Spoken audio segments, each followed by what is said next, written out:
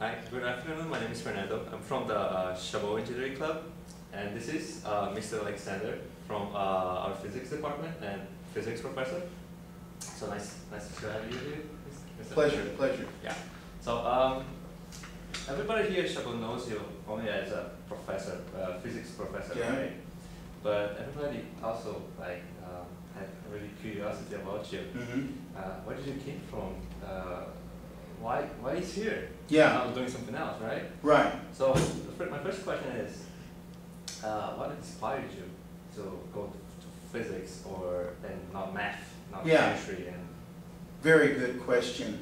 Uh, I started out as a psychology major, which was actually uh, in some ways close to physics in the uh, uh, esoteric directions that both subjects can take you.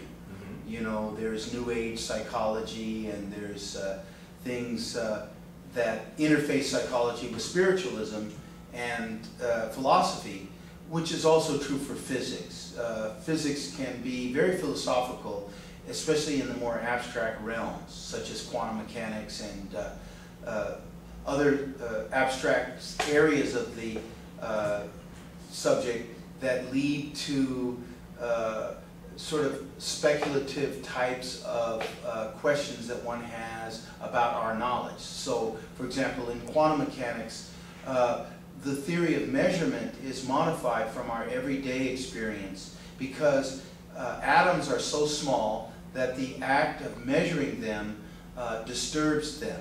And so there's an uncertainty in defining the state of an atom because the act of measurement disturbs that state. There are similar questions in psychology that involve uh, existence and what defines knowledge uh, and that kind of a thing. So probably I was attracted to physics because of the interesting abstract nature of the subject. But my first major after psychology was pre-med.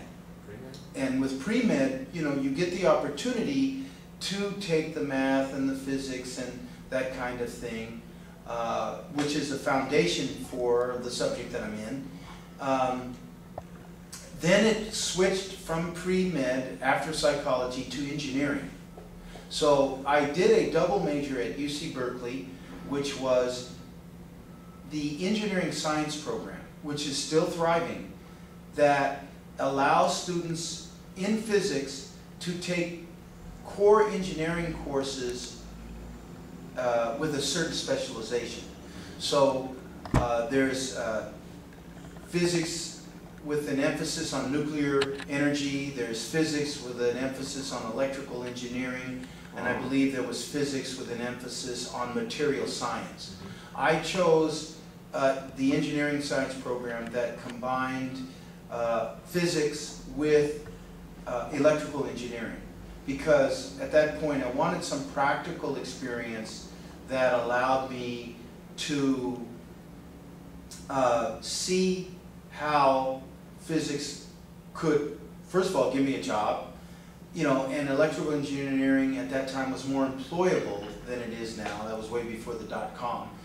Uh, so I took, you know, the interesting uh, upper division courses in quantum mechanics, in mechanics, celestial mechanics, as well as uh, specialization courses in electrical engineering such as propagation along waveguides and circuit classes. Uh, the problem with that major is that you kind of end up with a little bit of everything and not enough to come out of the major with uh, enough specialized in, uh, information to get an immediate job. So you're not as uh, specialized as an electrical engineering major because you haven't taken as many courses in electrical engineering which were filled by the physics courses. Um, so I went on to graduate work in physics where I felt that I could combine my electrical engineering um, work with the physics knowledge to involve myself in an experimental project uh, at whatever institution I was accepted at. I, you know, eventually was accepted to Stanford, and so the electrical engineering played some role in my uh, graduate degree, but not a lot. There was a lot of information that I used, for example, uh, from uh, the electrical engineering courses involving uh, reflection and transmission that was useful in my uh, specialization at Stanford, which was uh, looking at the electromagnetic properties of inhomogeneous medium. That is uh, the reflective and transmission properties of media that was uh, made up of small particles of metal suspended in a dielectric. You know, they're like little small metal balls that are in a matrix of a dielectric, a non-conducting uh, material. And what we did was looked at the reflective and absorptive uh, properties of these metals that, uh, and the matrix that they're in, that have uh, applications for, you could say, selective detection of certain kinds of radiation. Mm-hmm. So the bottom line is that the electrical engineering was helpful in uh, the area of specialization that occurred in graduate school that did take some of the engineering principles uh, that I learned and put them to work uh, to uh, complete the research that I did. Okay, great. Pretty interesting, pretty amazing. Yeah, thank you very much And for these questions. what kind of difficulties did, uh, did you find in the way to Stanford? Like any picky friends saying, always saying, oh, this is useless, or like a really long distance rela- related talking, oh, this is useless too. So we're doing, why, not doing psychology? Well, like uh, you know, there was a time where I, some people said, you know, why are you going into physics? It's such a difficult subject. And I said, yes, it is a difficult subject. You know, even for the Nobel laureates, they will admit that it's a very difficult subject. Depending on the problem that you want to attack, uh, the limit uh, to uh, difficulty is, is not there. I mean, it can be as difficult as the problem that you want to uh, approach in the field that you want to go into. Uh, so yeah, there were a few people who said, why are you going to, into something like that, especially when we don't see the everyday applications of physics compared to engineering. And I told them, well, I'm going to try to specialize in something that is somewhat practical, but also gives, uh, you know, uh, some satisfaction about the fundamental nature of reality, which I've always been interested in.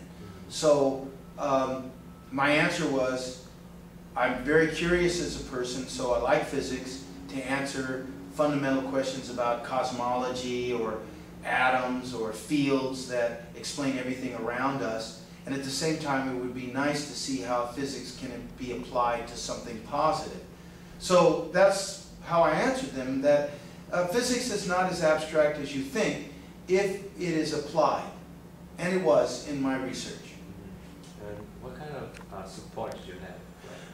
Okay, at the time that I entered uh, my undergraduate, uh, you know, I didn't have too many problems in terms of financial support because I worked part-time and uh, I was able to support myself through school. But at the same time, uh, school when I was going at the, that time was not as expensive as it is now. The unit uh, cost was uh, considerably lower than it is now. Uh, so financially, it wasn't that big of a problem. Uh, later on, when I became a graduate student, the financial support was pretty much guaranteed by the fellowships that the graduate students were offered uh, in exchange for their work as teaching assistants. So I was a teaching assistant in